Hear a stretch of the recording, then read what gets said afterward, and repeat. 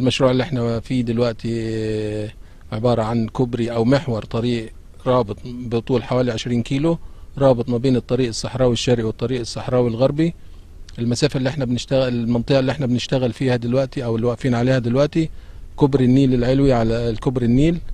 ال- الكوبري ده طوله حوالي كيلو ومية ومية متر. بي- بيشمل عدد اتنين فتحة ملاحية كل فتحة فيهم حوالي 120 متر. فتحتين تانيين حوالي 70 متر. ال- ال- الكوب- الكوبري ده بيربط ما بين الضفة الشرقية والمناطق الصناعية غرب النيل والمناطق الصناعية والضفة آه، اللي هو المناطق الصناعية شرق النيل وغربها. حاليا إحنا على كوبري النيل وصلنا لنسبة تنفيذ حوالي 90% وتزيد.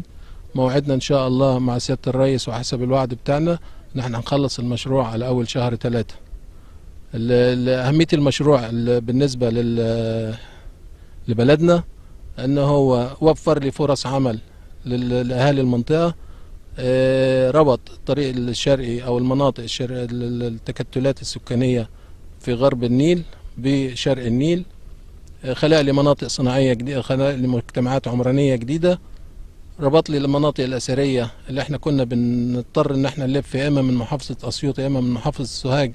عشان خاطر نوصل ليها فقصر المسافة بين بين المناطق المختلفة دي.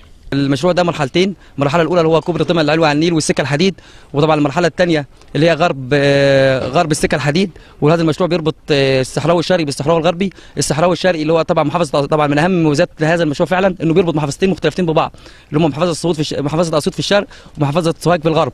طبعا آه، الكوبري ده فيه انتقادات كتير جت اللي هي اتأخر اتأخر مدته. طبعا هو اتأخر. طبعا لعوائق خارج خارجنا يعني. إن هو طبعا في تقاطعات كتير. في نزع ملكية كتير طبعا أراضي. طبعا المشروع ده كان من سبع سنين طبعا فالاسعار طبعا في الزيادة. فطبعا الأسعار دلوقتي الأراضي الأسعار من سبع سنين غير الأسعار دلوقتي. فسعادة الرئيس تكرم حضرته وخلص لنا كل المشاكل دي. وطبعا نشكر سيادة الوزير طبعا قرر كذا زيارة ورا بعض خلص لنا كل العوائق اللي ممكن تقابلنا